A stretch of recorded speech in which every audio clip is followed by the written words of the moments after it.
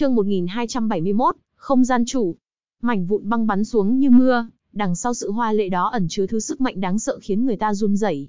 Có ai ngờ được công thể được liên thủ từ ba người bọn Thất Vương Điện, lại dễ dàng bị phá như thế. Đó chính là sức mạnh của băng chủ sao? Lâm Động nhìn cảnh đó không kìm được nắm chặt tay lại.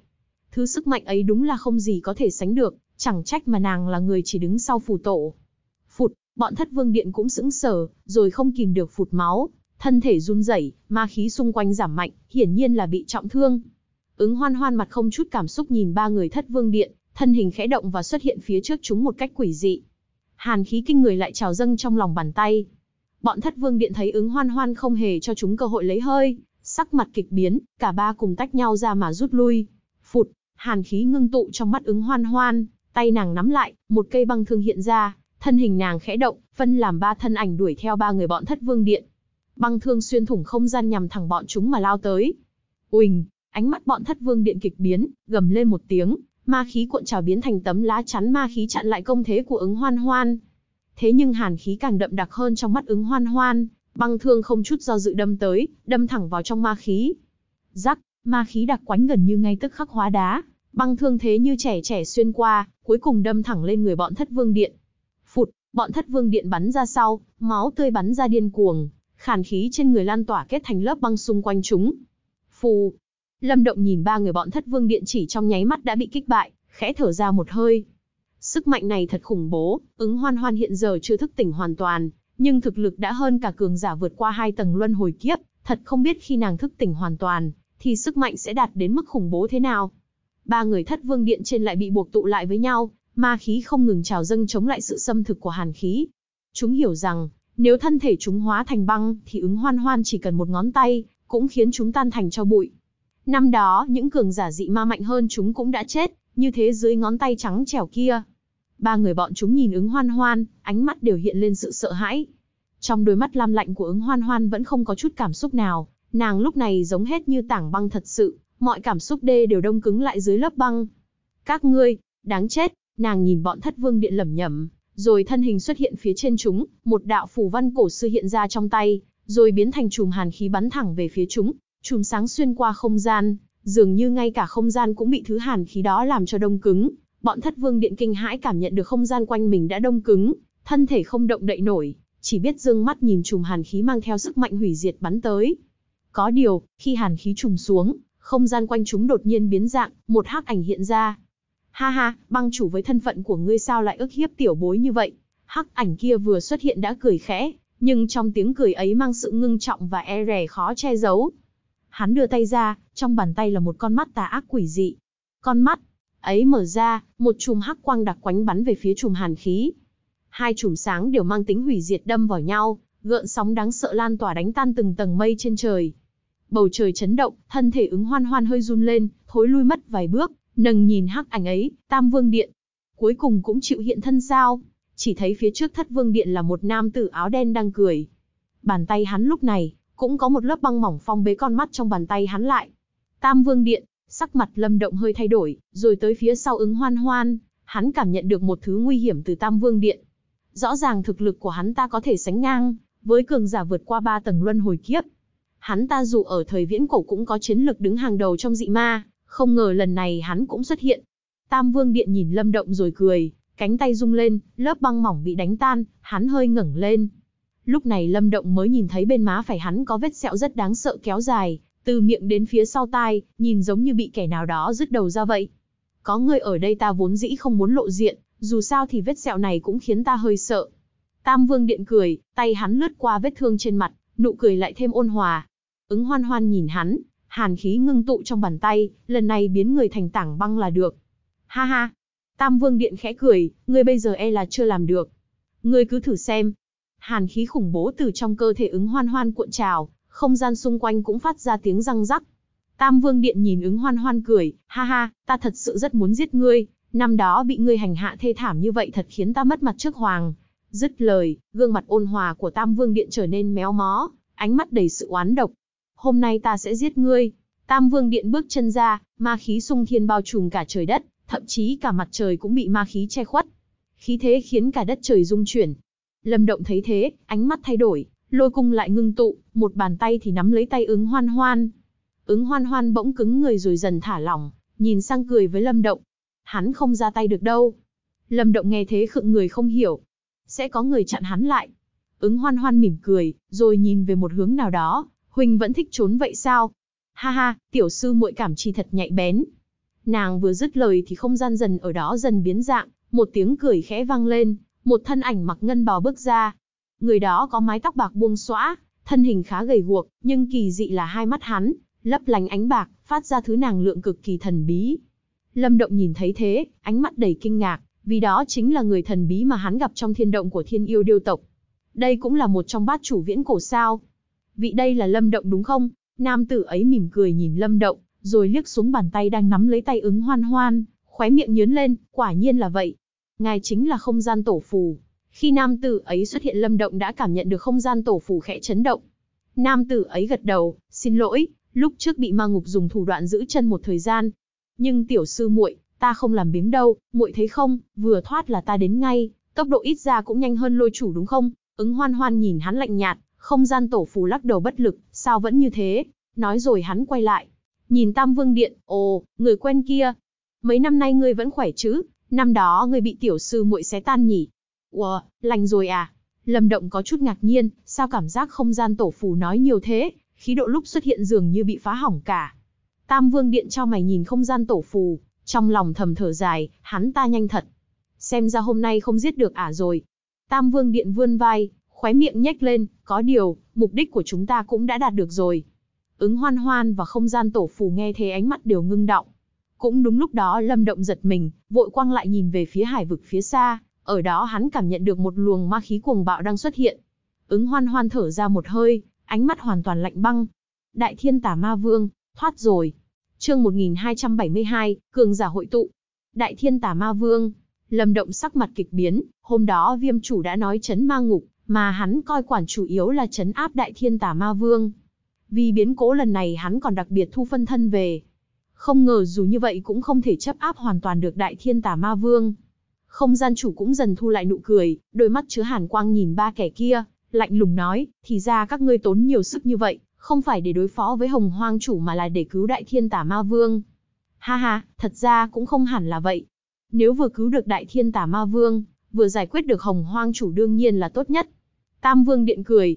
Nếu vậy thì phải giữ các ngươi lại để bồi thường vậy. Không gian chủ cũng cười, chỉ là nụ cười ấy đầy lạnh lẽo, rồi ngài từ từ thò tay. Cánh tay ngài rất gầy, ở mũi ngón tay lấp lánh ngân quang, sức mạnh ấy lâm động rất quen thuộc, là sức mạnh của không gian tổ phù. Vậy sao? Tam Vương Điện nheo mắt, con mắt quỷ dị trong lòng bàn tay lại hé mở. Năm đó ta đã thấy ngươi không thuận mắt rồi, giờ nói gì thì cũng phải cho ngươi hai cái tát mới được, không gian chủ cười. Ha ha. Tam Vương Điện cũng cười, rồi đồng tử hắn co lại, chỉ thấy bàn tay có con mắt đột nhiên đập về phía sau, ma khí cuộn trào.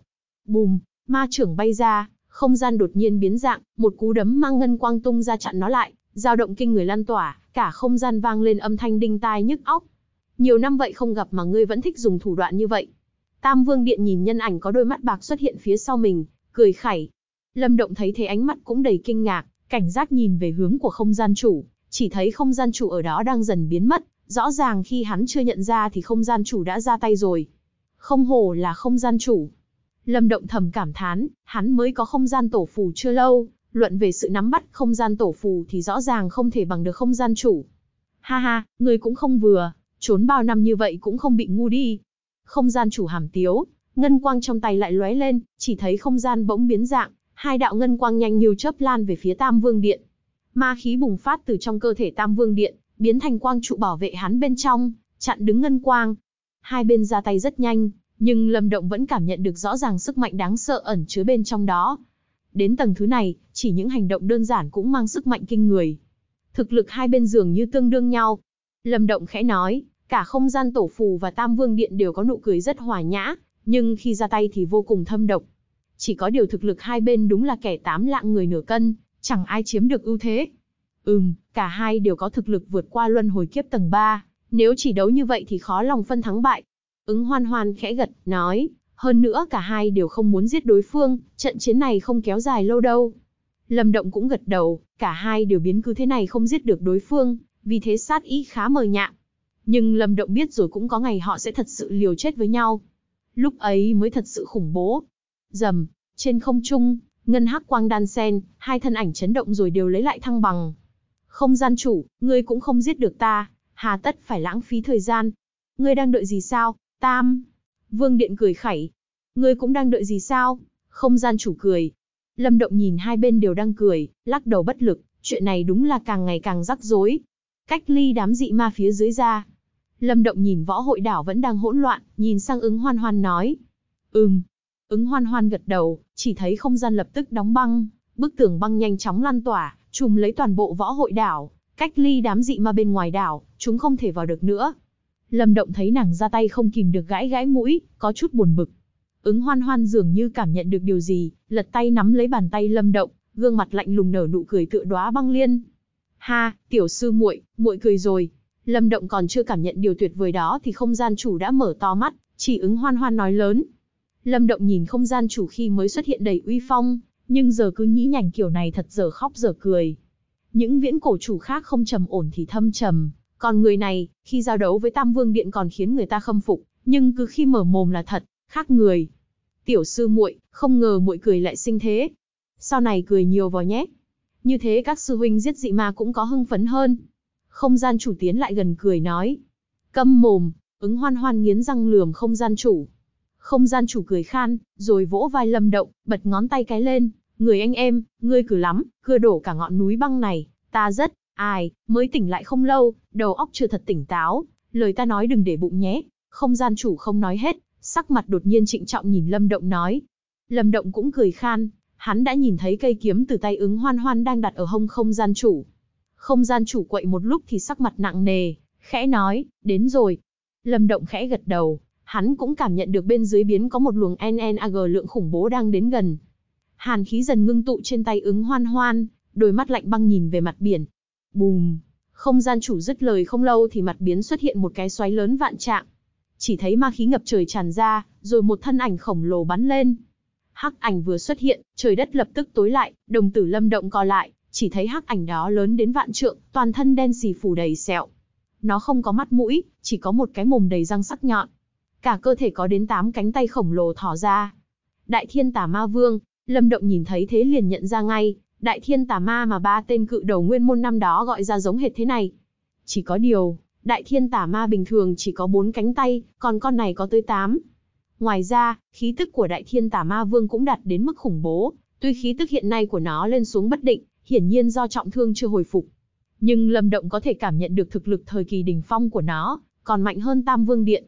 Chẳng trách mà hôm đó viêm chủ nói thực lực của Đại Thiên Tà Ma Vương, chỉ đứng sau Thiên Vương Điên, trong ma ngục. Đại Thiên Tà Ma vừa xuất hiện liền quay sang ứng hoan hoan, giọng nói như của dã thú gầm rú, băng chủ.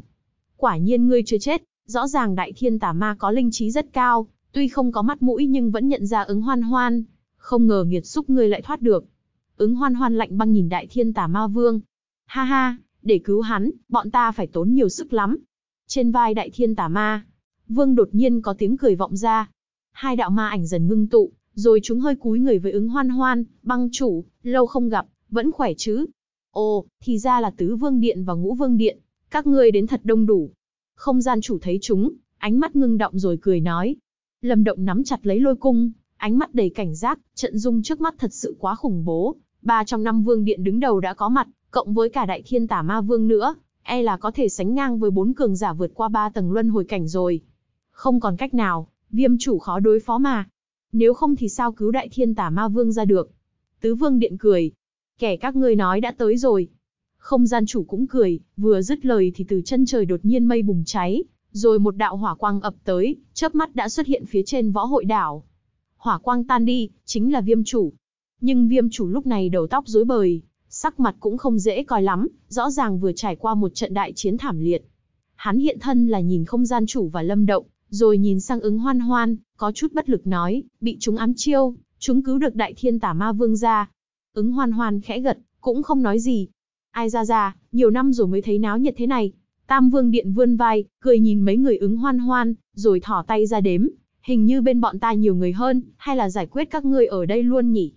Ha ha, nhiều người hơn thì sao? Lúc này sao có thể thiếu ta được? Nhưng Tam Vương Điện vừa xuất hiện thì đột nhiên có tiếng cười lớn vang lên. Lâm Động quay lại thì thấy trong hồng hoang tháp đột nhiên bắn lên tử kim quang. Vui thật, Lâm Động thấy thế không kìm được thở hắt ra. Hồng hoang chủ cũng ra rồi sao? Thế này không phải sẽ nổ ra đại chiến ngay tại đây à? Chương 1273, cuộc đối đầu đỉnh cao. Tử kim quang ồ ạt bắn ra từ trong hồng hoang tháp chiếu sáng cả vùng biển nghìn dặm. Ma khí do đại thiên tả ma vương đem tới cũng bị ánh sáng đó đẩy lùi. Bầu trời lại có ánh nắng chiếu xuống.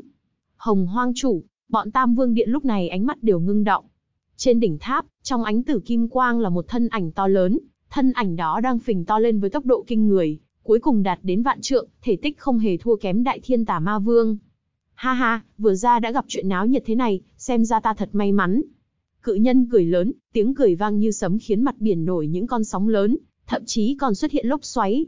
Hừ, đại thiên tả ma vương hừ một tiếng, ma khí cuộn trào chống lại tử kim quang. Nghiệt xúc người sống dai thật, như vậy mà cũng không chết. Hồng hoang chủ nhìn đại thiên tả ma vương, không kìm được lắc đầu nói với vẻ tiếc nuối. Năm đó để khiến đại thiên tả ma vương trọng thương họ đã mất không ít sức, như thế mới chấn áp phong ấn được nó. Không ngờ giờ nó lại thoát ra được. Năm đó không phải các ngươi dở trò thì chưa biết ai thua đâu. Đại thiên tả ma vương trầm giọng nói. Không phục thì đánh lại một trận là được. Hồng hoang chủ nhìn đại thiên tả ma vương, chiến ý bùng phát. Ha ha, đừng vội, rồi cũng sẽ có cơ hội thôi. Đến lúc đó bọn ta không định tha cho các ngươi đâu. Tam vương điên cười. Tuy lúc này chúng chiếm ưu thế về số người nhưng đại thiên tả ma vương mới thoát khỏi chấn áp, thực lực chưa hồi phục hoàn toàn, nếu động thủ thì cũng khó phân thắng bại. Vì thế, giờ chưa phải thời cơ tốt để động thủ. Đến lúc đó e là các ngươi cũng không có cơ hội tiềm phục lần thứ hai đâu. Viêm chủ chậm rãi nói. Viêm chủ, giờ nói thế hơi sớm đấy. Tứ vương điện cười, chỉ là trong mắt hắn tràn ngập sát ý, lần này, có lẽ kẻ thua cuộc sẽ là các ngươi. Hơn nữa, bọn ta cũng không để các ngươi có cơ hội vùng dậy đâu. Vị diện này cuối cùng sẽ rơi vào tay dị ma tộc thôi. Thật muốn thử xem sao. Không gian tổ phù mỉm cười, ngân quang lấp lánh trong mắt. Hai luồng khí tức trái ngược nhau cuồn cuộn trong không gian. Hai bên đều là những cường giả đỉnh cao trong trời đất, sinh tử của mọi sinh linh trong vị diện này đều nằm trong tay họ. Sẽ có cơ hội, nhưng giờ thì cứ đợi đi đã. Các ngươi muốn đợi băng chủ thức tỉnh hoàn toàn, bọn ta cũng đợi thiên vương điện hồi phục hoàn toàn. Đến lúc đó ân oán từ thời viễn cổ sẽ được giải quyết gọn gàng. Tam vương điện nhìn ứng hoan hoan, khẽ cười, mục đích của bọn ta lần này đã đạt được, cáo từ, nói rồi hắn ngừng một chút lại tiếp, ngoài ra, đại chiến lần thứ hai có lẽ sắp bắt đầu, chỉ là kẻ thua sẽ là các ngươi thôi, ha ha. Dứt lời, Tam Vương điên vung tay, ma khí cuộn chảy biến thành cái xoáy ma khí khổng lồ hút chúng vào trong. Dị ma phía dưới cũng bay vào như thiêu thân. Xoáy ma khí xoay chuyển rồi nhanh chóng tan đi, sau khi bọn chúng biến mất thì ma khí bao phủ cũng tan biến, ánh nắng ấm áp lại chiếu sáng cả hòn đảo. Lâm Động nhìn bầu trời trở lại yên bình thì thở phào. Hắn biết đại chiến không thể diễn ra hôm nay. Thiên Vương Điện và Nhị Vương Điện đều chưa hiện thân, Đại Thiên Tả Ma Vương cũng chưa hồi phục chiến lực, đương nhiên ma ngục sẽ không khai chiến vào lúc này. Nhưng hắn dự cảm ngày đó không còn xa nữa. Hồng Hoang chủ lúc này đã thu nhỏ lại còn thân hình cai khoảng hai trượng, bề mặt da ngài có màu tử kim quang, tỏa ra thứ cảm giác cường đại không? Thể hình dung bằng lời nói, nếu luận về nhục thể thì Hồng Hoang chủ, có lẽ là đệ nhất nhân trong trời đất này rồi. Ha ha, lần này đa tạ ngươi, Hồng Hoang chủ nhìn Lâm Động, cung tay cười nói. Lâm Động lắc đầu cười, vãn bối không giúp được nhiều. Thực lực của hắn hiện nay chỉ có thể đấu lại cường giả ma ngục, ở mức như thất vương điện, cao hơn một bậc như tam vương điện thì hắn chịu rồi. Cuộc đối đầu vừa rồi rõ ràng hắn khó lòng nhúng tay vào, trường hợp này khiến hắn thầm thở dài, quả nhiên thực lực vẫn chưa đủ. Dường như cảm giác được sự nặng nề trong thần sắc của hắn, ứng hoan hoan nắm lấy tay hắn khẽ dùng lực, lâm động quay lại cười, dù có gian nan thế nào hắn cũng không thể dễ dàng từ bỏ. Viêm chủ, không gian chủ, hồng hoang chủ ở bên cạnh thấy thế nhìn nhau, thần sắc có phần kỳ lạ, không biết đang nghĩ gì. Lát nữa lôi chủ và hắc ám chủ cũng sẽ tới. Viêm chủ nhìn ứng hoan hoan, nói. Lâm động giật mình, nếu cả lôi chủ và hắc ám, chủ đều đến thì ngoài thôn phệ chủ và sinh tử chủ ra, những người còn lại trong bát chủ viễn cổ đều có mặt đủ. Lên đảo trước đã. Lâm động nói. Mấy người viêm chủ đều nhìn ứng hoan hoan, nàng khẽ gật đầu rồi kéo lâm động đi. Ba người viêm chủ nhìn phía sau họ, ánh mắt đều lóe sáng. Viêm chủ, tình hình gì đây? Không gian chủ do dự một chút rồi hỏi, nhìn ứng hoan hoan như thế xem ra tình cảm với Lâm Động không phải bình thường. Viêm chủ lắc đầu bất lực, ánh mắt có phần phức tạp, tự muội ấy hiểu. Nói rồi hắn cũng không nói gì thêm, liền động thân. Không gian chủ và hồng hoang chủ nhìn nhau cười khổ rồi nhanh chóng theo sau. Trên đảo, vì trận đại chiến vừa rồi mà thành một đống hỗn loạn. Mấy người lâm động vào thẳng lầu, thanh đàn và các vị thủ lĩnh khác ra đón. Chỉ có điều, ngoài thanh đàn ra thì những người khác đều nhìn với ánh mắt kính sợ không dám lại gần. Rõ ràng họ cũng đã thấy sự xuất thế của hồng hoang chủ, và khí độ của mấy vị kia không hề thua kém hồng hoang chủ. Như vậy họ cũng đoán ra được phần nào, trong lòng lập tức cuộn trào cảm xúc, dù sao đó cũng đều là cường giả đỉnh phong uy danh thời viễn cổ mà. Mấy người ngồi trong lầu cát, những người khác không dám đến gần. Lâm Động chỉ dặn Lâm Động đưa trà lên cho mọi người, trong tháp trở nên yên tĩnh. Ứng hoan hoan ngồi bên cạnh Lâm Động, mái tóc lam buông xõa đến lưng, mắt nhìn xuống đất, tay nghịch một lọn tóc, cũng không nói gì. Ba người viêm chủ không biết đang nghĩ gì, chỉ ngồi yên lặng. Lâm Động thấy thế chỉ biết cười khổ. Sự yên tĩnh này kéo dài đúng một giờ, ứng hoan hoan lúc này ngẩng lên nhìn về phía xa, đến rồi, từ phía xa có tiếng sấm vang lên, một đạo lôi quang bắn tới, xuất hiện trong lầu cát, chính là lôi chủ. Lôi chủ xuất hiện không lâu thì bầu trời vốn sáng trong bỗng nhiên tối sầm lại, thanh đàn không kìm được khẽ ủa lên một tiếng, bóng tối chỉ kéo dài trong một giây, rồi mấy người lâm động nhìn sang một chỗ ngồi trống trong phòng. Ở đó không biết từ bao giờ có một thân ảnh mảnh mai mặc giáp mềm đang ngồi. Nàng ngẩng lên nhìn quanh, rồi dừng lại ở ứng hoan hoan, cười, tiểu sư muội, lâu rồi không gặp, có nhỡ sư tỷ không? Ứng hoan hoan NHNFH ám chủ, đôi mắt gợn sóng, sư tỷ không sao là tốt rồi. Ta đâu phải lũ ngu ngốc như chúng, không có việc gì đâu. Hắc ám chủ cười, rồi nhìn sang lâm động, ánh mắt có chút kinh ngạc, tiểu tử không tồi, là luân hồi cảnh rồi. Nhưng vẫn kém tiểu sư muội nhiều lắm. Hồi ấy ngươi đã hùng. Hồn nói, sư tỷ, ứng hoan hoan nhíu mày, giọng nói cao hơn một chút. Được rồi, ta không nói nữa. Hắc ám chủ nhún vai, rồi nhìn viêm chủ, đại thiên tà ma được cứu ra rồi. Viêm chủ gật đầu. Chúng ta đi sai một nước cờ. Không gian tổ phù nói.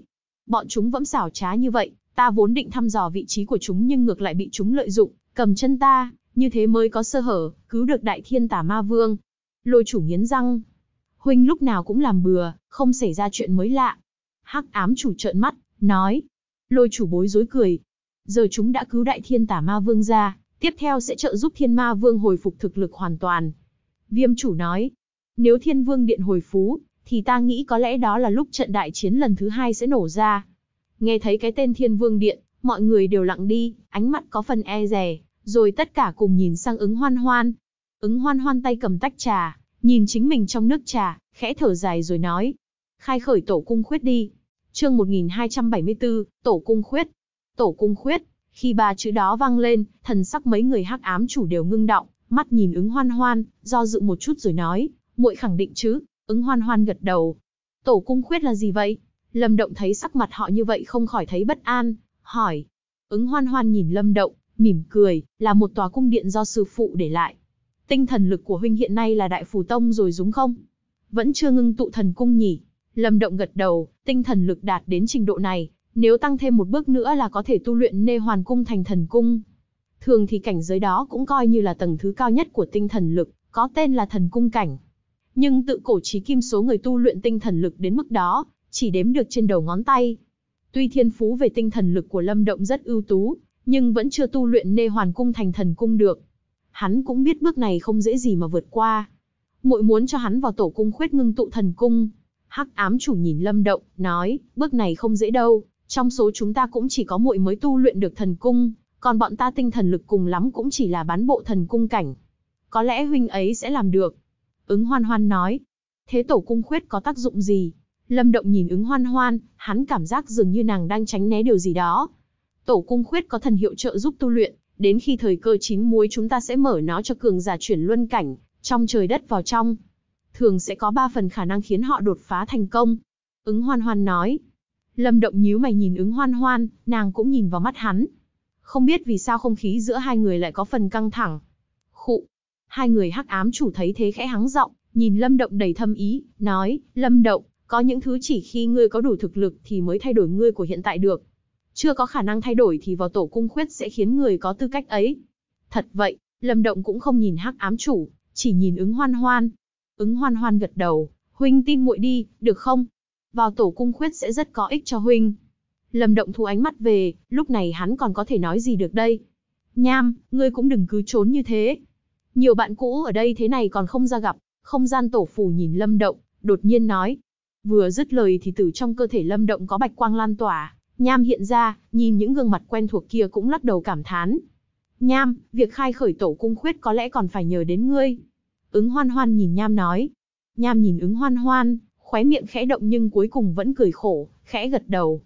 Viêm chủ thấy vậy cũng khẽ hắng giọng, ngoài ra, khi đại thiên tả ma vương, thoát ra còn có không ít dị ma bị chấn áp cũng thoát được. Loạn ma hải hiện giờ rất hỗn loạn, ma ngục cũng không bị trói buộc gì nữa, xem ra đúng như chúng nói, đại chiến thiên địa đến lúc này coi như mở màn rồi. Chúng muốn dùng sự hỗn loạn đó giữ chân chúng ta. Không gian tổ phù xoa cằm, ánh mắt trầm tư, ta cứ cảm thấy chúng đang có mưu đồ gì đó. Mấy người viêm chủ cũng gật đầu, số lượng dị ma rất lớn, thực lực rất mạnh, trong loạn ma hải căn bản không thể có một thế lực nào đơn độc chống lại được. Nếu cứ để chúng hoành hành thì loạn ma hải e là sẽ thương vong vô số. Hãy lập ra liên minh loạn ma hải đi. Lâm Động nghĩ rồi nói. Lúc này nếu loạn ma hải không tập hợp các thế lực lại thì e là sẽ bị dị ma thôn phệ sạch sẽ. Liên minh à, cũng được. Nhưng thực hiện rất rắc rối. Hồng hoang chủ gật đầu. Muốn tổ chức liên minh chắc chắn tiêu tốn không ít tinh lực, hiển nhiên là họ không đủ. Không cần chúng ta đích thân xây dựng, trong loạn ma hải có một thế lực đỉnh cấp là viêm thần điện. Điện chủ chính là người nắm giữ hòa diệm tổ phù, hơn nữa viêm thần điện cũng rất có sức hiệu triệu ở loạn ma hải. Cộng với nay dị ma đã thành đại họa, chỉ cần hướng dẫn một chút, muốn lập liên minh không khó.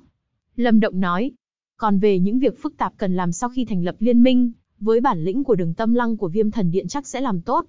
Đương nhiên, cũng cần mấy vị ra mặt, dù sao trong loạn ma hải, cũng có một số thế lực và chủng tộc có lịch sử lâu đời. Trong loạn ma hải mạnh nhất không phải thế lực của con người mà là hải yêu tộc, muốn họ gia nhập liên minh không phải dễ. Hải yêu tộc sao? Ta đi một chuyến là được. Ta cũng coi như có chút quan hệ sâu xa với tiên tổ của những đại tộc hải yêu. Hồng Hoang Chủ nói. Hồng Hoang Chủ vốn là hải cự nhân tộc thuộc hải yêu tộc, nếu ngài ra mặt hẳn là sẽ không khó khiến hải yêu tộc gia nhập liên minh. Ứng hoan hoan khẽ nói. Lâm Động nhìn nàng, cũng không nói gì, chỉ gật đầu. Nếu vậy thì mai chúng ta đến viêm thần điện. Một hai tháng nay dị ma hoành hành chắc các thế lực trong loạn ma hải, phải chịu thiệt thòi không ít. Giờ ra lời hiệu triệu chắc sẽ có hiệu quả lớn. Lâm Động nói. Mọi người cũng không có ý kiến gì khác, họ nhìn ứng hoan hoan và Lâm Động rồi cùng đi ra.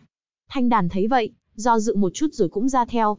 Chớp mắt trong lầu chỉ còn hai người, Lâm Động thấy ứng hoan hoan cúi gằm đầu không nói gì cũng lắc đầu bất lực, rồi bỗng đứng phát dậy dường như định rời đi. Ứng hoan hoan khẽ cắn môi, tay siết chặt, trong lòng trào dâng một cảm giác khó chịu. Nhưng Lâm Động không đi mà đến trước mặt ứng hoan hoan, đưa tay nắm lấy bàn tay mát lạnh của nàng, dùng lực kép nàng vào lòng, hai tay vòng quanh chiếc eo thon, vùi đầu vào mái tóc dài của nàng. Có phải ký ức của nàng hồi phục rồi không? Lâm Động khẽ hỏi, biểu hiện của nàng hôm nay hiển nhiên là không giống thường ngày. Có một chút. Vì thế muội biết họ, cũng nhớ được một số chuyện. Ứng hoan hoan do dự nói.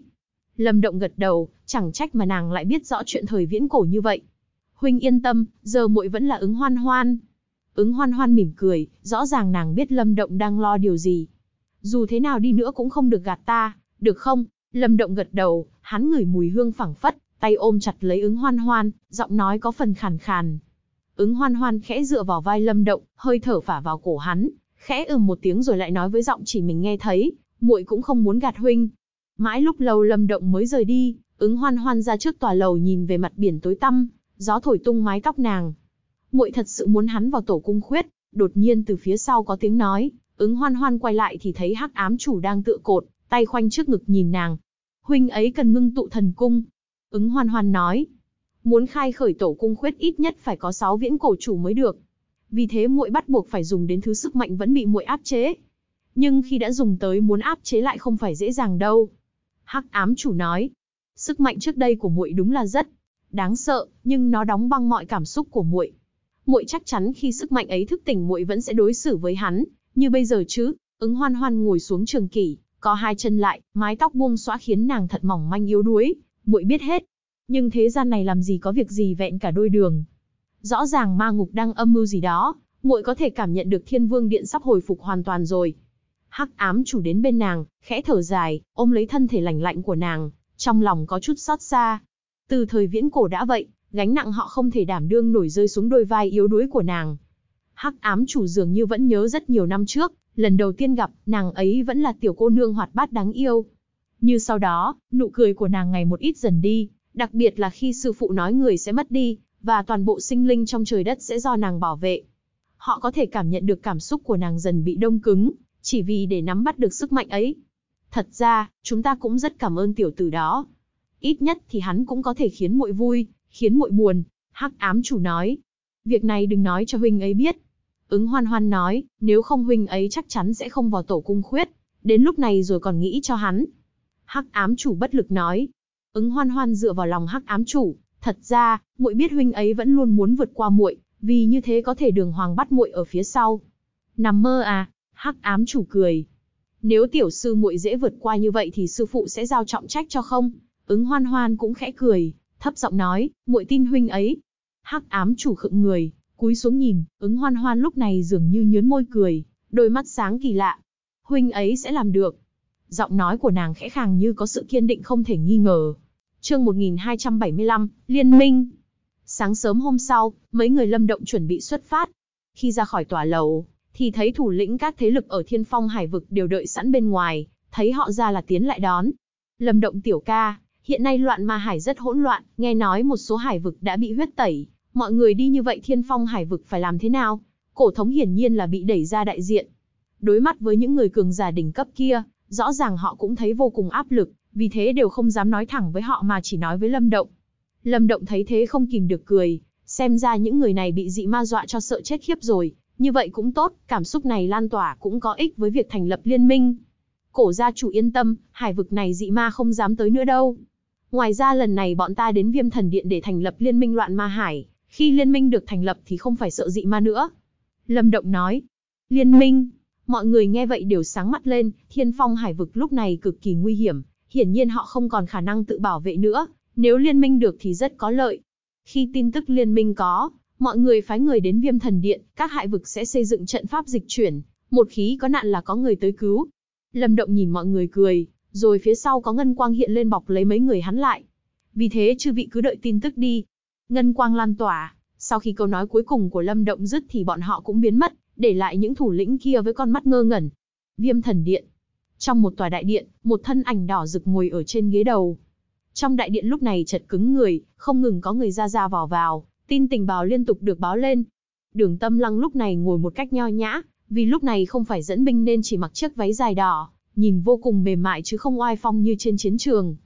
Nghe tin tình báo, nàng cho mày, loạn ma hải gần đây rất hỗn loạn, cũng đã ảnh hưởng tới viêm thần điện rồi. Ở hải vực của viêm thần điện cũng bị lượng lớn dị ma tấn công, nhưng hiện nay thanh trĩ có mặt ở viêm thần điện, nên cũng thu hút không ít cường giả tới. Điều này cũng tăng thêm thực lực cho viêm thần điện, cộng với khả năng thống soái của nàng, đám dị ma tập kích chỉ tạo được một số hỗn loạn nhỏ, rồi bị chặn hết bên ngoài hải vực. Đương nhiên, tuy chặn được nhưng việc quân sự phức tạp cũng khiến đường tâm lăng bận rộn nhiều.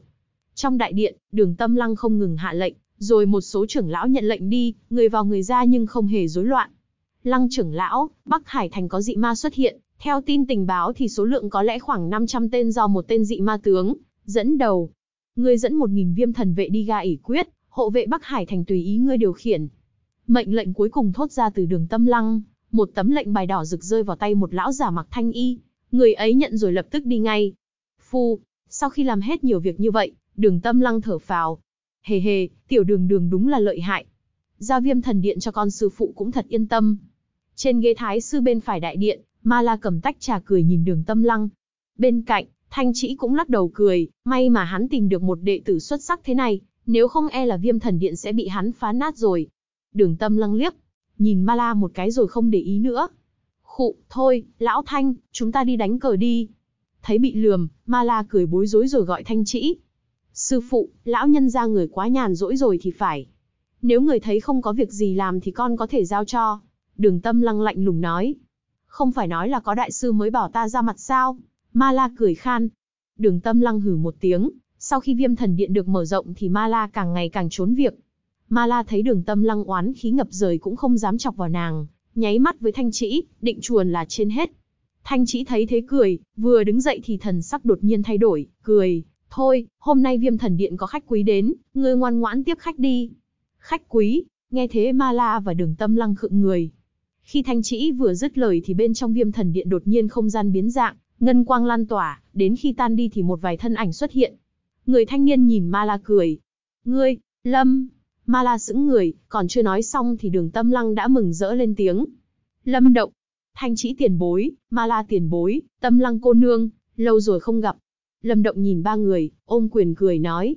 Thanh Chỉ và Ma La cười rồi ánh mắt có phần ngưng trọng nhìn về mấy người viêm chủ. Nếu ta không nhầm thì mấy vị đây là viễn cổ chủ trong truyền thuyết. Thanh Chỉ cười, tuy ở thời viễn cổ, ngài căn bản không có tư cách nói chuyện với mấy người viêm chủ nhưng rõ ràng, cũng có chút quen thuộc. Khí tức này ngoài mấy vị ấy ra thì chẳng còn ai nữa. Viễn cổ chủ, Ma La giật mình, ngài hiện nay cũng coi như, bước vào luân hồi cảnh nhưng vẫn không cảm giác được thực lực của mấy người đó. Ngài chẹp miệng, không hổ là đệ tử chân truyền của phù tổ đại nhân. Mấy người viêm chủ cười với hai người thanh trĩ, thái độ rất hòa nhã, không kiểu khinh khỉnh bề trên. Tiểu tử ngươi cũng luân hồi cảnh rồi, Ma La đột nhiên chú ý tới lâm động, sắc mặt thay đổi, ngạc nhiên kêu lên. Mới đột phá cách đây không lâu. Lâm động mỉm cười. Chẹp chẹp, vẫn biến thái như thế. Ma La chép miệng, ngài tu luyện nhiều năm như vậy mới lên luân hồi cảnh, không ngờ Lâm Động hồi đó rời đi mới là tử huyền cảnh, mà giờ đã đạt đến mức này. Ngươi đừng so sánh với hắn sẽ tự ti đấy.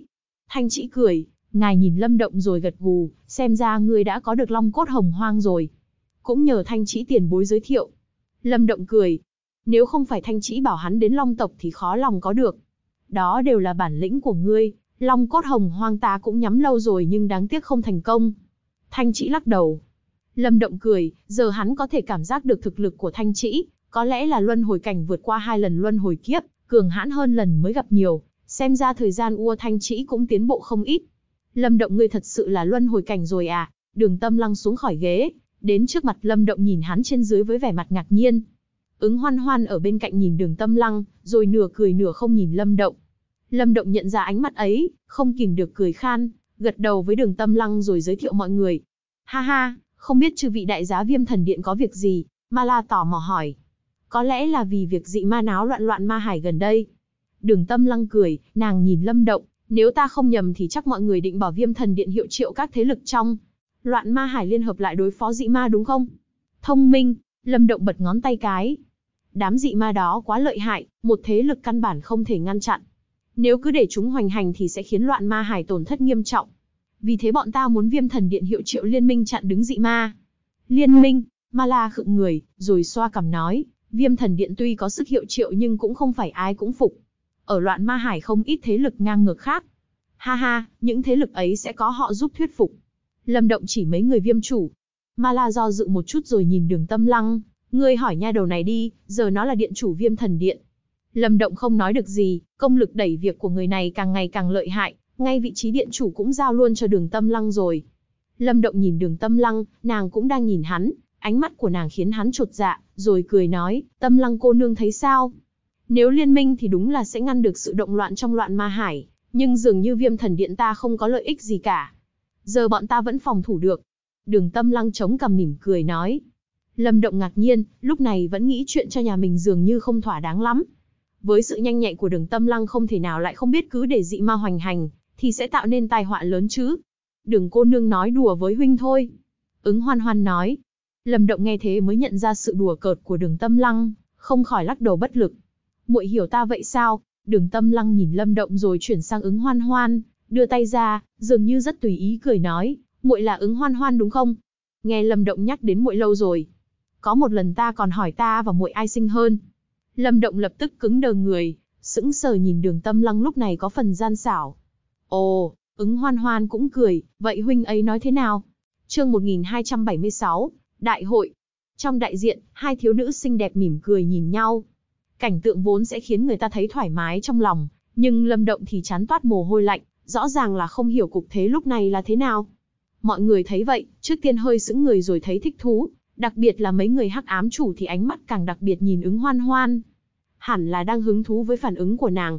Khụ, Lâm Động hắng giọng, lúc này phải thể hiện chút uy nghiêm của nam nhân mới được. Hắn đứng vào giữa hai người rồi nhìn đường tâm lăng bất lực nói, ta nhớ là chưa bao giờ nói câu đó cả. Vậy sao? Đường tâm lăng chớp mắt, môi khẽ nhướn lên vẻ không quan tâm, vậy chắc muội nhớ nhầm. Lâm Động không nói được gì, nữ nhân ấy mà thật đáng sợ đi. Đường tâm lăng cười, nhìn ứng hoan hoan, muội không để bụng chứ. Ứng hoan hoan khẽ lắc đầu cười, đồng thời cũng phóng tới Lâm Động ánh mắt đầy hàn ý. Nàng cũng coi như đã lĩnh giáo được cái phúc của Lâm Động, khi lịch luyện ở loạn ma hải rồi. Được rồi, được rồi, nói chính sự đi. Lâm động bất lực, rồi đành nghiêm mặt nói. Lúc này hai cô gái thu nụ cười về hiện tại đúng là chỉ còn cách liên minh. Đường Tâm Lăng gật đầu, theo thông tin bọn ta nhận được, hiện nay trong loạn ma hải đã có một vài hải vực bị dị ma huyết tẩy, không ít thế lực yếu đã bắt đầu rút về những hải vực lớn. Nếu lúc này chúng ta hiệu triệu liên minh kháng ma thì hiệu quả sẽ khá tốt. Nhưng đến lúc đó, lượng lớn người đến đây, sẽ khiến quy mô liên minh rất lớn, liệu có hoạt động được không cũng là việc khó nắm bắt, chứ chưa nói tới chống lại dị ma. Lâm Động cũng gật đầu, không biết lúc nào cũng nhiều người là tốt. Tình hình này, vạn nhất tất cả dồn về, khống chế không tốt sẽ càng chết dở hơn. Tuy hắn đã lập nên tứ tượng cung ở yêu vực, nhưng hắn cũng biết so với liên minh chỉnh thể ở loạn ma hải thì chỉ quá nhỏ bé. Hơn nữa, chỉ tứ tượng cung cũng khiến hắn kiệt sức, nếu bắt hắn tạo nên liên minh loạn ma hải nữa thì có giết chết hắn, cũng không xong nổi. Tuy rất rắc rối nhưng với năng lực của tâm lăng cô nương hẳn là không khó. Lâm Động cười, hắn cũng không phải thằng ngốc, việc rõ ràng không làm được đương nhiên sẽ không vơ vào người, mà ở đây lại có ứng cử viên hoàn hảo rồi. Ta đã rất bận rồi, ngươi đừng nhét thêm việc cho ta nữa, có được không? Đường tâm lăng trợn mắt, thấy vẻ mặt của Lâm Động rồi lại thở dài bất lực, vừa tới đã đem đến phiền phức lớn cho ta. Liên minh này còn cần một số đại thế lực thực sự, ở loạn ma hải gia nhập để tạo thanh thế. Thế lực con người không thể thiếu được vạn hải thiên cung, họ là thế lực lâu đời trong loạn ma hải, thanh danh rất lớn. Còn hải yêu tộc thì không thể thiếu bất tử thánh kình tộc, mọi người có lôi kéo được hai thế lực này không? Đường tâm lăng nhìn mấy người lâm động. Vạn hải thiên cung à? Người sáng lập có phải vạn hải lão nhân? Giờ còn sống không? Viêm chủ nghĩ rồi hỏi. Ừm, nhưng vạn hải lão nhân nhiều năm trước đã vì không vượt qua được luân hồi kiếp, tầng 2 mà qua đời. Trưởng giáo hiện nay là tôn tử của ngài, thực lực có lẽ là luân hồi kiếp một tầng, cũng là một trong cường giả đỉnh cao trong loạn ma hải. Có lẽ không vấn đề gì, vạn hải lão nhân từng nhận chỉ điểm của ta. Viêm chủ cười, vừa dứt lời thì lâm động cũng sững người, rồi lắc đầu bất lực, mấy lão đầu cổ này đúng là không thể coi thường. Được, bất tử thánh kinh tộc thì để ta. Hồng hoang chủ cười, trong hải yêu tộc ngài cũng coi như nhân vật truyền kỳ, vì bản thân ngài cũng là một thành viên trong hải yêu tộc, muốn thuyết phục cũng không khó. Nếu vậy, ngày mai chúng ta sẽ phát bố tin về liên minh. Ta nghĩ có lẽ rất nhanh các thế lực sẽ phái người đến thôi. Đường tâm lăng gật đầu. Được. Mọi người cùng gật đầu, đại sự chấn động cả loạn ma hải đã được quyết định. Sau đó cả viêm thần điện trở bên bận rộn, vô số người bay đi bắt đầu truyền bá tin tức, với tốc độ này có lẽ 2-3 ngày sau là, viêm thần điện sẽ trở thành nơi tấp nập nhất. Tuy có chuẩn bị nhưng chấn động mà liên minh này, tạo ra cũng ngoài dự đoán của Lâm Động, chỉ trong hai ngày là phản hồi về viêm thần điện. Tiếp đó, viêm thần điện bắt đầu bị vô số cường giả từ khắp các nơi nhấn chìm. Trận thế này còn ác liệt hơn cả lần tỉ thí tranh giành lôi đình tổ phù. Trên một tòa lầu, Lâm Động nhìn những nhân ảnh như thiêu thân lao vào thành cũng không kìm được thở dài. Không hổ là loạn ma hải. Diện tích loạn ma hải tính ra vượt qua cả yêu vực và tứ đại huyền vực, các thế lực lớn nhỏ ở đây cũng khó lòng kể hết được. Bình thường có lẽ không cảm thấy gì, nhưng gặp tình huống đặc biệt thì số lượng khủng bố này sẽ được thể hiện. Cục thế loạn ma hải hiện nay rất nguy hiểm, dù sao sự cạnh tranh ở đây vốn rất kịch liệt, nếu không phải nằm trong hoàn cảnh hết sự lựa chọn chỉ có lẽ chẳng ai muốn liên minh chúng ta, cũng đi thôi. Ở phía sau, ứng hoan hoan nói, viêm thần điện tuy cũng là thế lực đỉnh cao của loạn ma hải, nhưng dù sao cũng không thể khiến tất cả thần phục, muốn hoàn thành liên minh vẫn cần họ tọa chấn, chấn nhiếp.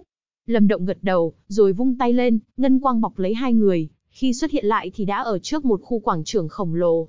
Trong đó có thể thấy biển người minh mông. Khí tức của ai cũng khá kinh người, rõ ràng phần lớn người đến đây đều là đại biểu có thực lực của thế lực các phương. Đúng là long trọng thật. Lâm Động mỉm cười, định đi vào thì đột nhiên có giọng nói trong trẻo từ phía sau vọng lại. Lâm Động đại ca, Lâm Động khựng người, quay lại thì thấy một thân ảnh màu trắng từ xa chạy tới cuối cùng lao, vào lòng hắn khiến thân thể hắn rung lên. Lâm Động vội vàng đỡ lấy người đó, nhìn xuống thì gặp gương mặt đáng yêu, Linh San. Lâm Động ngạc nhiên nhìn thiếu nữ trong lòng, đó là mộ Linh San mà hắn gặp ở loạn ma hải hồi đó. Chỉ có điều hồi đó cô bé còn có hai cái bím tóc, giờ đã thành túm tóc đuôi ngựa rồi dáng vẻ cũng nhanh nhẹn hoạt bát, không còn sự non nớt trước kia. Hi hi, Lâm Động đại ca, quả nhiên là huynh. Mộ Linh San cười kéo kéo Lâm Động. Sao muội lại ở đây? Lâm Động cũng mừng khi gặp cô bé, Hắn vuốt đuôi tóc cô bé, trong lòng cảm thán, cô bé năm đó đã lớn rồi. Muội đến cùng ra ra bọn họ. Mộ Linh San chỉ về phía sau, chỉ thấy ở đó có hai người, một người cao giáo anh Tuấn, là gia gia của mộ Linh San, mộ Lam. Mộ Lam tiền bối. Lâm Động ôm quyền, cười nói. Năm đó mộ Lam từng giúp hắn không ít, trong lòng hắn vẫn luôn biết ơn. Ha ha, Lâm Động, thực lực của ngươi bây giờ đến ta cũng không bằng. Tiếng tiền bối này ta không nhận được đâu. Mộ Lam cười bước tiến lại, ánh mắt nhìn Lâm Động có phần chấn động. Lần đó khi chia tay, Lâm Động mới chỉ là tử huyền cảnh, vậy mà giờ đến ngài cũng thấy áp lực. Đây là đại ca ta, mộ thiên. Bái kiến mộ thiên tiền bối. Lâm. Động ôm quyền. Hẳn vị lão nhân này chính là đại gia gia của mộ linh san. Sức mạnh tỏa ra từ người đó khiến Lâm Động kinh ngạc. Xem ra lão nhân này cũng là cường giả vượt qua một tầng luân hồi kiếp. Hà hà, ngươi chính là Lâm Động tiểu hữu à, nha đầu nhà ta về thường xuyên nhắc đến ngươi, tai lão phu đóng kén cả rồi. Mộ thiên cười. Lâm Động vỗ đầu mộ linh san, mộ thiên tiền bối cũng tham gia đại hội liên minh. Ừm, hồng hoang tiền bối đích thân tới nói, bất tử thánh kình tộc đâu dám không nể mặt. Mộ thiên gật đầu cười. Nếu vậy, mời vào bên trong đã. Thấy chỗ này cũng không phải nơi nói chuyện, Lâm Động cười dẫn mọi người vào trong. Vào tới trong, hắn quét mắt nhìn, chỉ thấy vô số cường giả tụ tập đông ngút tầm mắt, khí tức ngưng tụ trên bầu trời thậm chí đánh bật hết cả tầng mây. Mộ thiên tiền bối, mời ngồi. Rất nhanh có người của viêm thần điện đến chỉ dẫn cho họ, ba người mộ thiên ngồi ở vị trí đầu tiên trong quảng trường. Ở đây thực lực là nhất, ngồi ở hàng đầu đều là những cường giả đỉnh cao của loạn ma hải, uy danh hiển hách. Phía trước nữa chỉ có một vài ghế ngồi, lúc này là mấy người viêm chủ đang nhắm mắt ngồi đó. Những ánh mắt nhìn về phía họ đều đầy sự cuồng nhiệt. Đi thôi. Ứng hoan hoan tiến về vị trí trung tâm gây chú ý nhất, tay còn kéo lâm động. Khụ, ta đi bên cạnh được rồi. Lâm động ho một tiếng rồi nói. Thế nhưng ứng hoan hoan mặc kệ, cứ thế kéo lâm động tới vị trí đó rồi ép hắn ngồi xuống. Hàng ghế đầu tiên coi như là nơi đáng chú ý nhất hội trường, thậm chí những người như mộ thiên còn không có tư cách ngồi vào. Vậy mà gương mặt lạ hoặc là lâm động lại ngồi, thật sự đã thu hút vô số ánh mắt, rồi tiếng xì sầm bắt đầu vang lên. Tiểu tử đó là ai? Bát chủ viễn cổ có người này à? Nhìn có chút quen mắt. À, hình như là tên từng đấu ở viêm thần điện, tên lâm động thì phải. Là tên tiểu bối đó a Thật không ra thể thống gì, sao dám ngồi chỗ đó, viêm chủ bọn họ cũng mở mắt, ánh mắt mang ý cười nhìn lâm động, hẳn là đang muốn xem hắn làm thế nào. Lâm động cảm nhận được những ánh mắt ấy, rồi nghe tiếng xì sầm, nhưng cũng không tức giận, chỉ mỉm cười, tay khẽ vỗ lên mặt bàn, rồi một luồng khí tức khủng khiếp tỏa ra bao trùm cả hội trường. Tất cả tiếng xì sầm lập tức ngưng bặt, thậm chí những cường giả như mộ thiên ánh mắt cũng đầy chấn kinh. Người thanh niên này, không đơn giản, họ nhìn nhau, đều nhận ra ý tứ đó trong mắt đối phương, sự nghi ngờ trong lòng cũng thu dần về. Chương 1277, Đại hội. Hội trường chật ních những cường giả đỉnh cao của loạn ma hải, sau khi lâm động bạo phát khí tức thì lập tức trở nên yên lặng. Không ít người ánh mắt trở nên ngưng trọng, ánh mắt nhìn lâm động không còn nghi ngờ gì nữa. Những người đến được đây phần lớn đều có danh tiếng, thực lực đương nhiên cũng không vừa, vì thế qua luồng khí tức ấy cũng đoán được thực lực lâm động, mức độ đó chắc chắn đã bước vào luân hồi cảnh. Đương nhiên, về sự mạnh yếu thì chỉ những cường giả đỉnh cao mới nhận ra. Họ cũng là người đã vượt qua luân hồi kiếp một lần, nhưng vẫn cảm thấy có sự nguy hiểm từ luồng khí tức của Lâm Động. Điều đó cho họ hiểu rằng, người thanh niên kia tuy nhìn chỉ là luân hồi cảnh bình thường nhưng nếu thật sự động thủ, thì họ căn bản không phải đối thủ của hắn. Lâm Động tiểu hữu lợi hại thật, mộ thiên vuốt râu, nói với mộ Lam ở bên cạnh. Rất khủng bố. Mộ Lam gật đầu cảm thán. Ngài thực sự không thể liên hệ được người thanh niên yếu ớt năm đó, và người đứng trước rất nhiều cường giả loạn ma hải mà khí độ vẫn trầm ổn này. Đương nhiên rồi, Lâm Động đại ca chắc chắn còn lợi hại hơn đại gia gia. Mộ Linh San tự hào nói. Mộ Thiên thấy Mộ Linh San như vậy cũng chỉ lắc đầu cười, rồi quay sang cười với một lão nhân mặc lam bào ở cách đó không xa.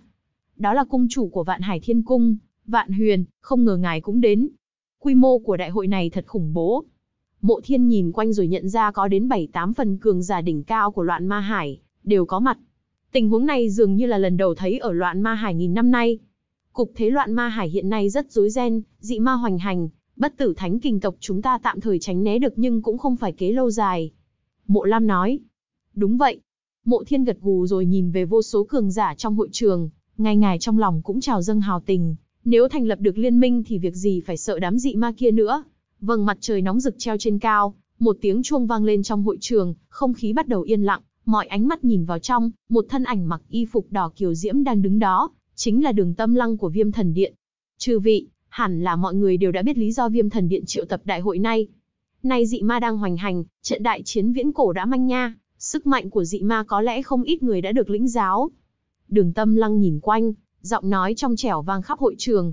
Theo tin tình báo viêm thần điện có được, loạn ma hải hiện đã có 8 hải vực bị dị ma huyết tẩy, trong đó có 120 thế lực bị tiêu diệt. Những nơi chúng đi qua, xác chất đầy đường, máu chảy thành sông. Ta nghĩ, căn bản không có một thế lực đơn lẻ nào có thể chống lại chúng. Mọi người không ai nói câu nào, sắc mặt ai cũng nặng nề, rõ ràng họ cũng đã phải trả giá không nhỏ khi bị dị ma tấn công. Không biết đường cô nương nghĩ sao, một lão nhân mặc lam bào trầm ngâm nói. Nói khó cũng không khó, đơn giản mà nói, chẳng qua là chúng ta hãy liên minh để chiến đấu. Đường tâm lăng cười, rồi nói tiếp, viêm thần điện nhận được ủy thác của năm vị viễn cổ chủ, mời chư vị lập liên minh cùng chống lại dị ma. Trong hội trường phát ra những tiếng ồn ào, không ít người khi đến đã đoán được chút gì đó, nhưng khi tận tai nghe thấy vẫn có chút bất ngờ. Kiểu siêu cấp liên minh bao gồm cả loạn ma hải thế này đúng là trước giờ chưa? Từng có. Một số người đã có ý nhưng tạm thời không nói gì. Tuy giờ đang bị dị ma chèn ép thê thảm, nhưng thế lực hiện nay cũng là khó khăn vất vả lắm mới gây dựng nên được. Nếu thành lập liên minh thì không phải sẽ mất quyền kiểm soát sao? Chư vị, liên minh ở đây chỉ là về việc chống lại dị ma, khi liên minh hình thành sẽ cùng tiến thủ, để phòng tránh chuyên quyền chúng ta, có thể tiến cử một số thế lực có danh tiếng lập thành quyết nghị đoàn. Đại sự của liên minh đều phải thông qua quyết nghị đoàn. Ngoài ra có vị trí nguyên lão do năm vị viễn cổ chủ và lâm động đảm nhiệm, chịu trách nhiệm theo dõi, đốc thúc. Đến lúc đó, thế lực các phương phái tinh nhuệ lập nên đội quân trừ ma, không gian tổ phù cũng sẽ ra tay, thiết lập các trận pháp dịch chuyển ở mỗi hải vực lớn, chỉ cần bất cứ hải vực nào bị công kích thì trừ ma quân sẽ lập tức đến.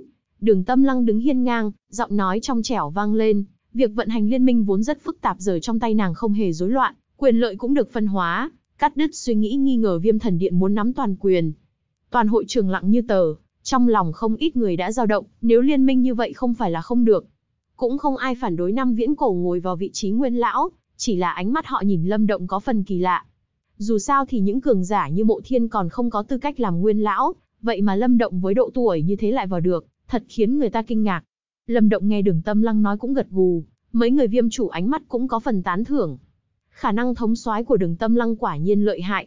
Hẳn là khi liên minh được hình thành, với năng lực của nàng loạn ma hải sẽ có sức mạnh vô cùng khủng bố.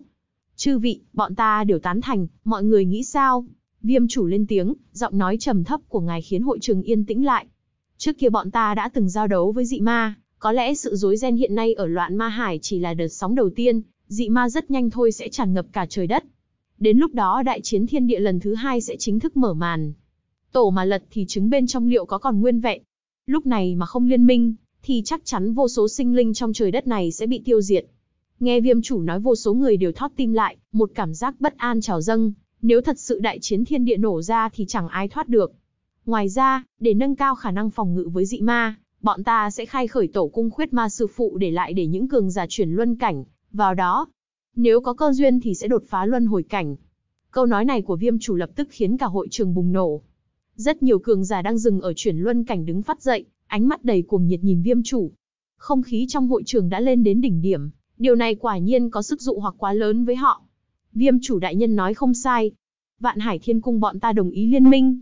Lão nhân mặc lam bào thấy thời cơ đã tới, đứng dậy trước tiên, ông quyền nói. Bất tử thánh kinh tộc ta cũng đồng ý liên minh, cùng chống lại dị ma. Mộ thiên cũng đứng dậy, trầm giọng nói. Thiên hải nhai đồng ý liên minh. Lại một cường giả đỉnh cấp của loạn ma hải đứng dậy. Hải kiếm các đồng ý, bọn ta cũng đồng ý liên minh. Lần lượt vô số người đứng dậy, tiếng nói rồn rập vang lên, cuối cùng hội tụ lại tạo nên một luồng chiến ý lẫm liệt. Lâm động, thấy thế bất giác thở ra một hơi, Việc liên minh này có mấy người viêm chủ bọn họ tọa chấn, cộng với áp lực từ dị ma đúng là cũng không tốn mấy sức đã thành công. Nhưng muốn phát huy tốt nhất sức mạnh của liên minh thì phải xem đường tâm lăng rồi. Liên minh đã được thành lập, tiếp theo là những chuyện phức tạp khác, nhưng hiển nhiên may mắn là không cần lâm động bận tâm. Những việc này rơi lên vai đường tâm lăng, nàng cũng thể hiện được năng lực đáng kinh ngạc, chỉ trong 5 ngày liên minh đã sơ bộ đi vào hoạt động. Trong mấy ngày này Lâm Động và mấy người không gian chủ, cùng ra tay đến các hải vực lớn thiết lập trận pháp chuyển dịch, nối liền các nơi với nhau. Chỉ cần đại quân trừ ma được triệu tập xong là, Sis thể thật sự chống được sự ngang ngược của dị ma. Công việc cường độ cao thế này khiến Lâm Động dù đã là luân hồi cảnh, nhưng vẫn rất mệt, đến khi về viêm thần điện thì sắc mặt đã hơi tái. Trong đại điện, đường tâm lăng đang bận rộn việc liên minh, thấy Lâm Động thì cười đích thân mang trà đến, người vất vả rồi. Đem đến cho cô nương phiền phức lớn như vậy, vất vả chút này có là gì đâu. Lâm Động nhận lấy tách trà, lắc đầu nói, đây không coi là phiền phức, việc này không phải của mình ngươi. Loạn ma hoành hành ở loạn ma hải, sớm muộn gì cũng sẽ động tới viêm thần điện. Đường tâm lăng cười, chỉ là ngươi, không phải viễn cổ chủ mà lo những việc này. Ta không có được đại nghĩa như họ, lâm động cười khổ. Đúng là họ khiến người ta kính phục, nhưng ngươi cũng không kém. Đường tâm lăng cười, nàng lúc này không có khí chất hào hùng như bình thường mà trở nên dịu dàng hơn nhiều. Đúng rồi, tâm thanh thế nào rồi? Ngươi không bắt nạt muội ấy chứ? Đường tâm lăng đột nhiên nhớ ra tâm thanh cùng lâm động đến yêu vực. Lâm động lắc đầu bất lực, rồi kể lại đầu đuôi câu chuyện. Không ngờ nha đầu này có được cơ ngộ như thế, đến khi nó xuất quan chắc rất cừ. Đường tâm lăng ngạc nhiên nói. Lâm động gật đầu cười, định nói thì không gian đại điện có dao động, rồi không gian chủ, viêm chủ và ứng hoan hoan xuất hiện. Trận pháp dịch chuyển cơ bản đã xong. Không gian chủ nhìn hai người cười, nói. Làm phiền các vị rồi. Đường tâm lăng nói. Ứng hoan hoan nho nhã ngồi xuống ghế, cầm tách trà lên, trầm mặc một chút rồi nhìn Lâm Động nói. Ngày mai chúng ta sẽ khai khởi tổ cung khuyết. Lâm Động cảm thấy không khí trong đại điện đột nhiên lặng xuống, lại nhìn ứng hoan hoan đang khẽ cười, trong lòng thấy gợn gợn nhưng cuối cùng vẫn gật đầu. Chương 1278, khai khởi tổ cung khuyết. Ngày hôm sai, trên không trung viêm thần điện có một vài thân ảnh, xung quanh có vô số cường giả đang nhìn từ xa. Ánh mắt họ tràn ngập sự kích động, rõ ràng thông qua một vài cách, mà họ đã biết hôm nay sáu vị viễn cổ chủ này sẽ liên thủ khai khởi tổ cung khuyết, trong truyền thuyết mà phù tổ đại nhân để lại.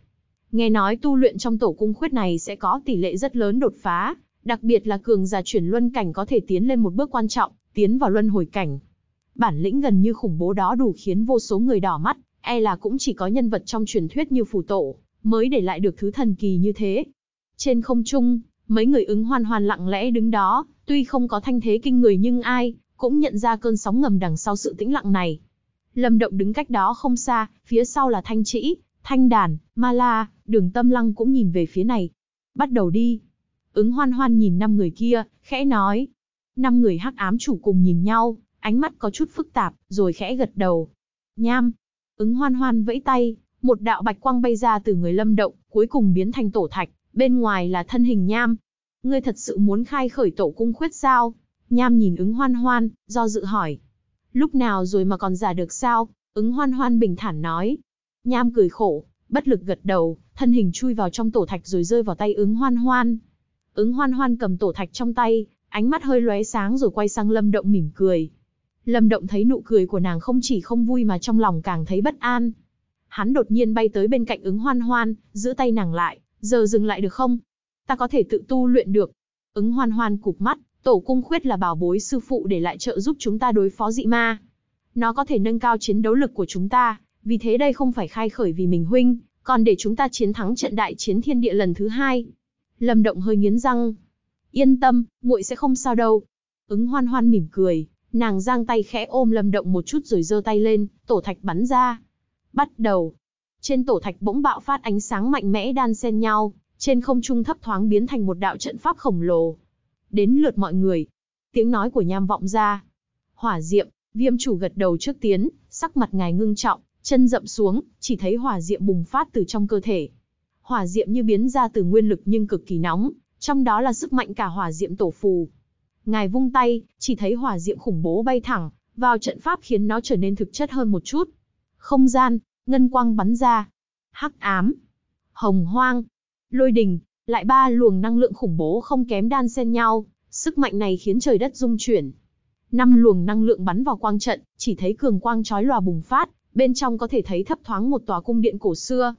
Năm người viêm chủ ra tay xong nhìn về phía ứng hoan hoan, nàng nghiến răng, đạo phủ văn lạnh lẽo hiện ra trong tay, ánh mắt nàng càng trở nên băng hàn hơn.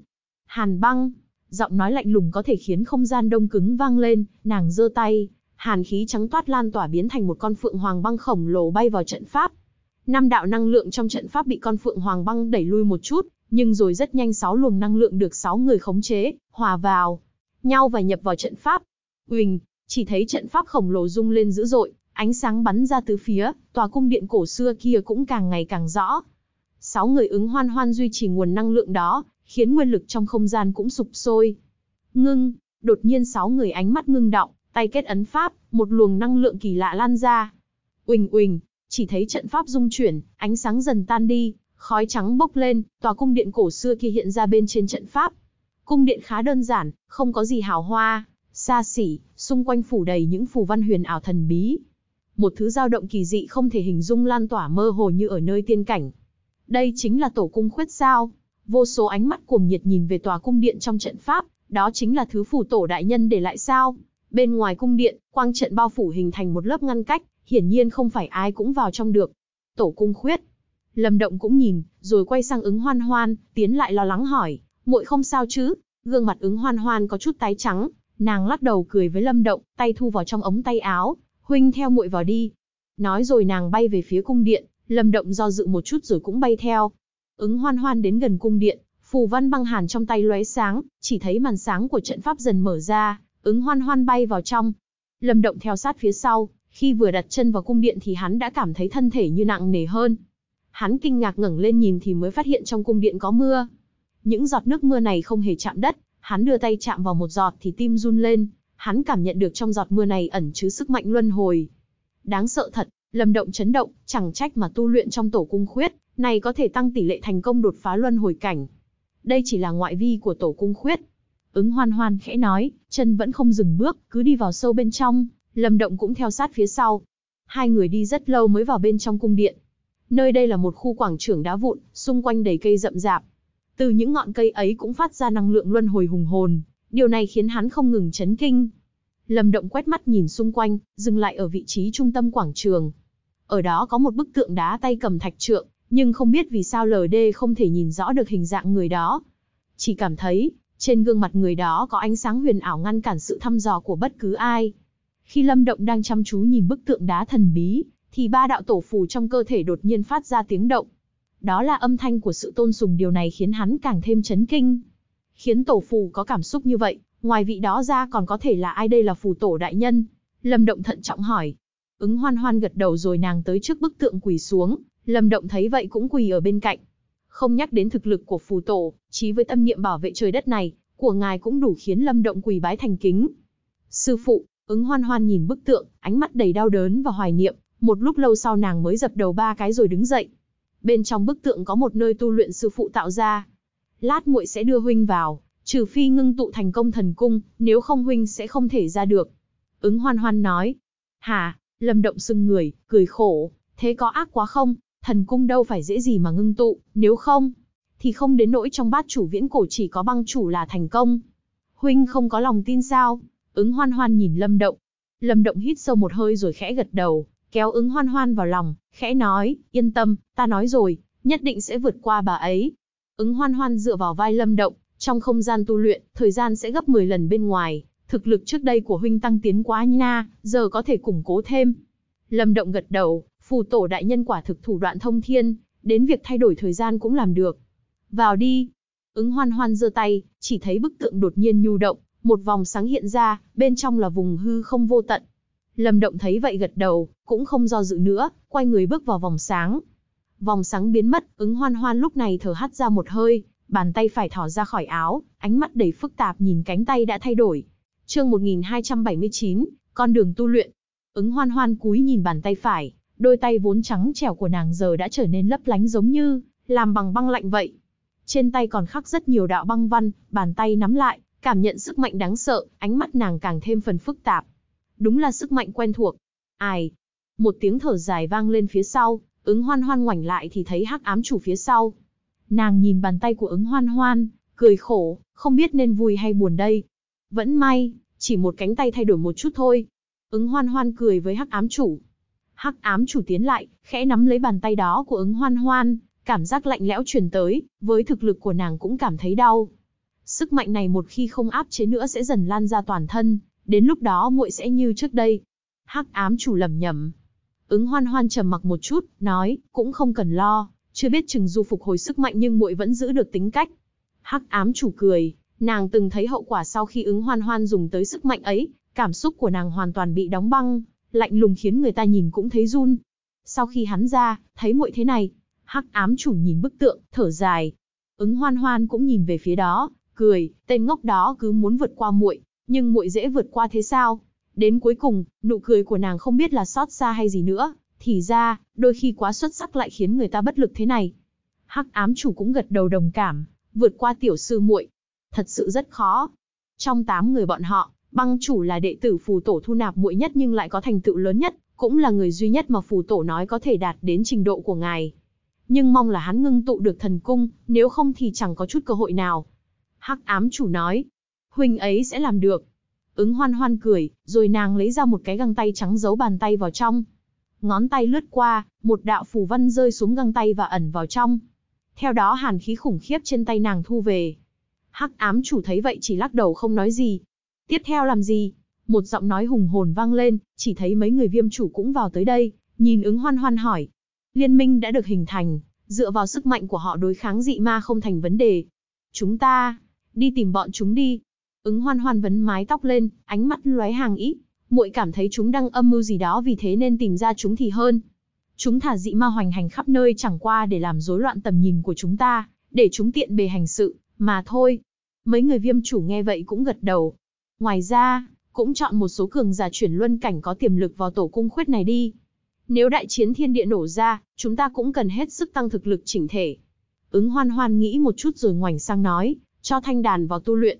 Tổ cung khuyết cũng là nơi khá quan trọng, tuy không bằng nơi tu luyện nghịch chuyển thời gian như trong bức tượng, nhưng cũng hơn nhiều so với những nơi khác. Thanh đàn và lâm động là huynh muội, đương nhiên nàng cũng phải chiếu cố. Đi nào, chúng ta cũng nên động thân thôi. Nói xong ứng hoan hoan bước đi trước, nhưng khi quay người rồi nàng lại quay lại, nhìn bức tượng kia, bàn tay trong găng tay khẽ nắm lại. Lâm Động, huynh nhất định phải thành công, muội đợi huynh. Khi Lâm Động bước vào bức tượng, hắn có thể cảm thấy rõ ràng trời đất đảo lộn, cảm giác choáng vắng dâng lên, khi hắn tỉnh lại thì phía trước mặt đã thay đổi. Phía trước là một tế đàn cổ xưa, xung quanh có bậc thang đá cao vút, phía trên giường như có một tấm nệm phủ cũ kỹ. Xung quanh tế đàn là hư không vô tận, nhìn chỉ thấy bóng tối, bên trong giường như có thiêu thân đang bay lượn, rất thần bí. Lâm Động đi lên trên, tấm đệm phủ cũ kỹ kia dường như được kết từ cỏ, không có gì nổi bật cả, nhưng La dường như cảm nhận được một luồng khí tức mạnh mẽ còn lại ở đó.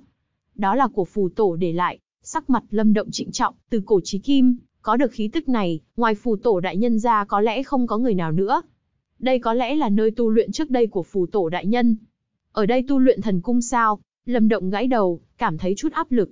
Tuy tinh thần lực của hắn hiện nay là đại phù tông nhưng hắn vẫn hiểu, cảnh giới này và ngưng tụ thần cung vẫn còn xa lắm. Có điều, khó khăn thế nào đi nữa cũng phải hoàn thành. Lâm Động bặm môi. Từ sau khi ứng hoan hoan khai khởi tổ cung khuyết, hắn mơ hồ cảm nhận được chút gì đó không đúng. Nếu hắn không nhầm thì việc này chắc chắn sẽ gây tổn thương gì đó cho nàng, chỉ là nàng cố tình giấu thôi. Ta biết vượt qua nàng rất khó, nhưng, cứ từ bỏ như vậy không phải tính cách của ta. Lâm Động cười, rồi hắn ngồi xuống tấm đệm kia, hai mắt nhắm lại, tâm thần dần chìm vào nê hoàn cung. Việc ngưng tụ thần cung nói đơn giản chính là cải tạo nê hoàn cung thành thần cung. Chỉ là bước này nhìn từ góc độ nào đó căn bản là không thể.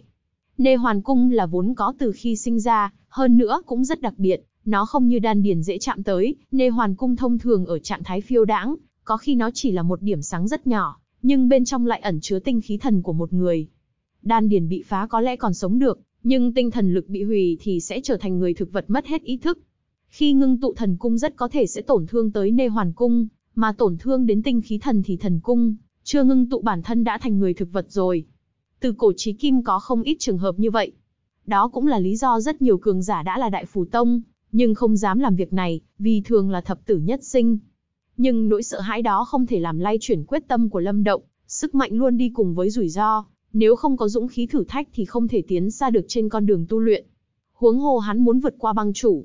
Lâm Động ngồi tĩnh lặng, tâm thần đi vào một thế giới khác, ở đó lôi đình ngưng tụ, cuồng phong thổi ảo ạt, băng tuyết đổ như mưa, giống như môi trường thở hồng hoang vậy. Đây chính là nê hoàn cung của Lâm Động. Tâm thần của hắn lơ lửng trong nê hoàn cung, tinh thần lực ngưng tụ biến thành một đạo tinh thần thể giống hệt hắn. Tinh thần thể của Lâm Động quan sát nê hoàn cung rồi cười, hắn có thể cảm nhận được tinh thần lực hùng hồn ở đây, Muốn ngưng tụ thần cung rõ ràng là số tinh thần lực này vẫn thiếu một chút. Trước đây hắn chú trọng nguyên lực, hơi buông lỏng tu luyện tinh thần lực, giờ muốn ngưng tụ thần công đương nhiên phải bổ sung. Việc này cần thời gian không ngắn, nhưng may mắn là giờ hắn cũng khá dồi dào, thời gian trong này chậm hơn 10 lần so với bên ngoài, 10 năm ở đây chỉ bằng một năm bên ngoài. Vì thế hắn có thể dùng khoảng thời gian này tu luyện phù.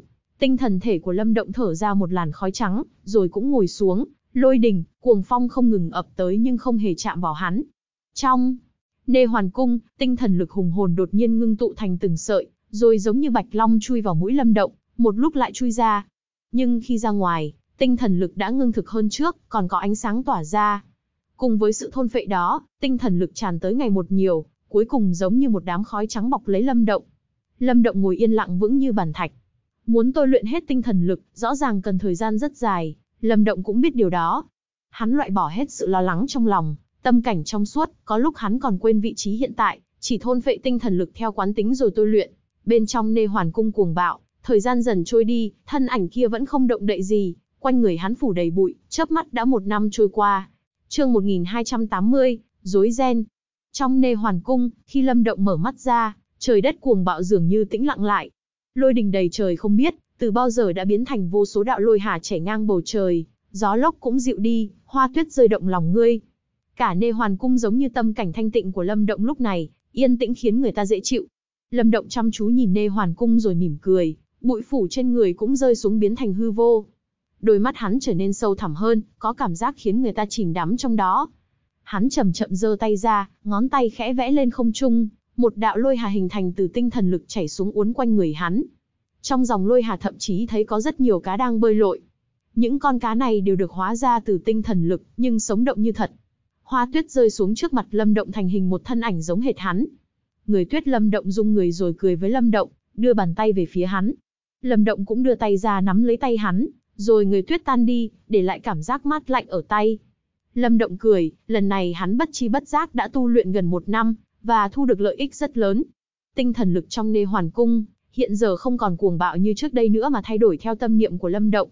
Hơn nữa tinh thần lực trong nê hoàn cung cũng đã ngưng luyện được hơn trước nhiều.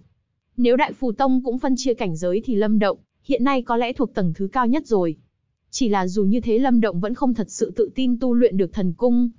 Đương nhiên, dù có khó khăn thế nào hắn cũng phải có dũng khí để thử. Phù, Lâm Động khẽ thở ra một làn khói trắng, bên trong đó dường như có lôi quang. Rồi mặt đất đột nhiên rung chuyển, nơi hắn ngồi bỗng cao lên, giống như cây cột chống trời phá đất trồi lên vậy, cuối cùng cao chạm tới tầng mây.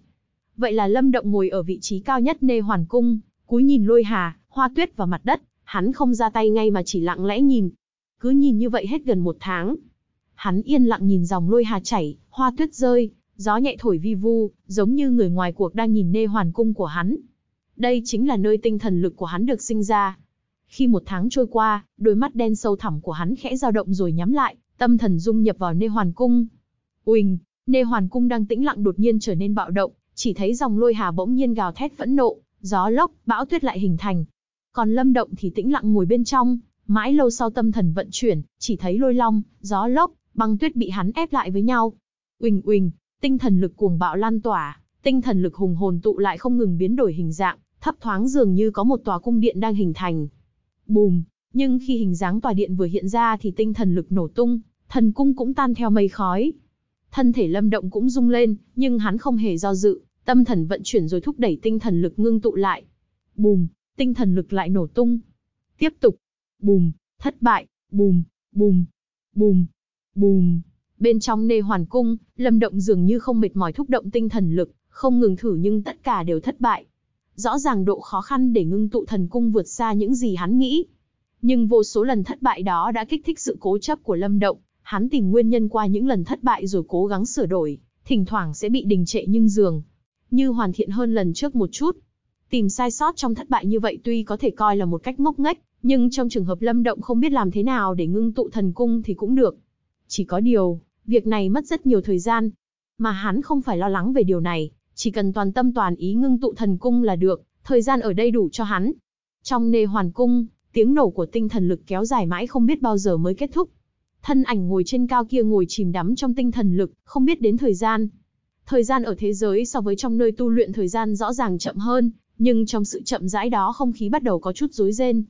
Liên minh loạn ma hải đã thành lập, bọn dị ma cũng bắt đầu bị ngăn chặn, đại quân trừ ma được lập, nên từ những cường giả đỉnh cao của vô số thế lực coi, như đã trở thành sức mạnh khủng bố nhất trong loạn ma hải.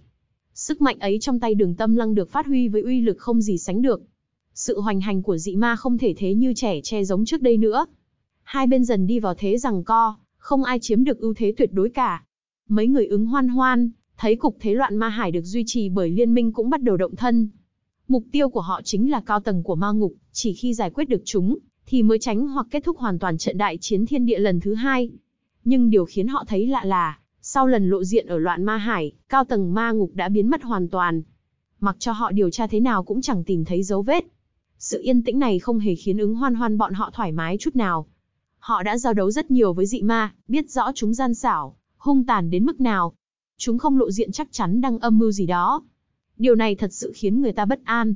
Đông huyền vực, ứng hoan hoan đứng trên đỉnh một ngọn núi đôi mắt màu lam nhìn về phía xa, trong sơn mạch ấy là một tông phái khổng lồ, thấp thoáng có thể thấy vô số thân ảnh. Đó là đạo tông. Từ sau khi rời khỏi loạn ma hải, nàng vẫn cùng viêm chủ bọn tìm kiếm tông tích của dị ma, thời gian trở về đạo tông ít đi rất nhiều.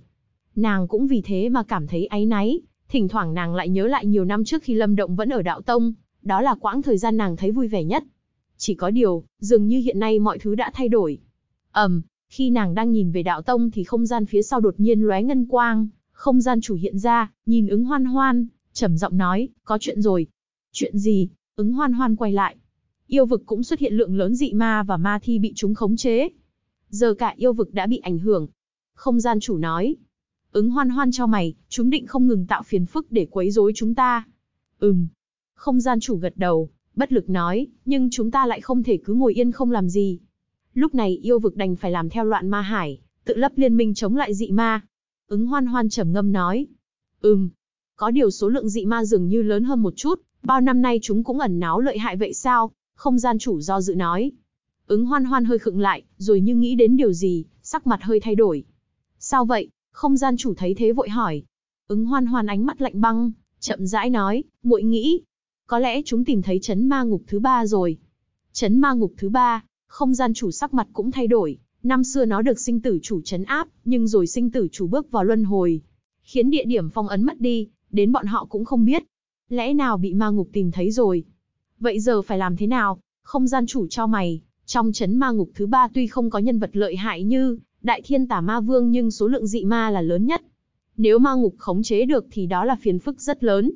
Giờ chưa có tin tức gì của sinh tử chủ, tốt nhất là để tỷ ấy tự tỉnh lại, nếu cưỡng ép thì khó tránh gây tổn thương cho tỷ ấy. Ứng hoan hoan khẽ lắc đầu, giải quyết phiền phức ở yêu vực trước rồi chúng ta liên thủ khai khởi thiên nhãn, thăm dò thiên địa. Nghe đến khai khởi thiên nhãn, không gian chủ sắc mặt ngưng động rồi gật đầu. Vậy chúng ta đến yêu vực. Đợi chút đã. Ứng hoan hoan do dự, nhìn về hướng bắc, đó là hướng của vương triều đại viêm. Muội đến đại viêm một chuyến. Cái đó, mọi người đi theo muội. Nàng trần trừ rồi đỏ mặt nói.